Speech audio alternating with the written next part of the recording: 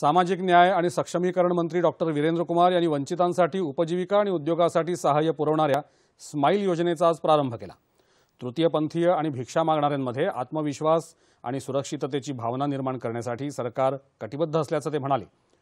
कौशल्य प्रशिक्षण आणि आधुनिक शिक्षणासह ही योजना निश्चितपणे तृतीयपंथीय समुदायाला मुख्य प्रवाहात आणण्यासाठी सक्षम बनवेल. तसंच पंतप्रधान नरेंद्र मोदी यांच्या सबका साथ सबका विकास या मंत्राचं हे प्रतीक आहे असं ते म्हणाले.